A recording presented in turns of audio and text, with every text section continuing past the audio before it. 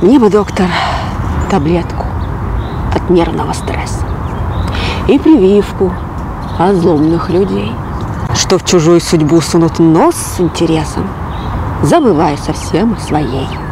И все учат меня, как им видится лично, что и где я должна совершить. Мне порою охота послать их публично. Ну, к примеру, к мозгам, дружить. Кто-то ангела видит во мне неземного, а потом после пары цитат, что на стенке моей прочитает, и снова судят громко меня не в попад.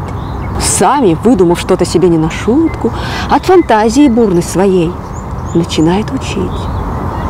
Но постойте, минутку. Доктор, вирус сражает людей. Ведь душа – это свет, это храм человека. И обутым туда – это грех. Я обид не ношу, просто знаю. Аптека не продаст антивирус от всех. Кто советом своим, хоть его не просили, все пытается в душу пролезть. Чем несчастнее люди, тем больше судили, не заметив свою уже болезнь. Мне, к примеру, не нравится синее небо, но винить ни к чему небеса. Кто таким, как привиделось вам, все же небо, на того обижаться нельзя. Не судите других по себе, не судите. Ведь у каждого сердце свое.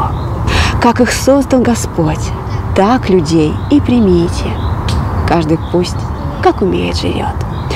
Доктор, спорить нельзя. Это гнев порождает.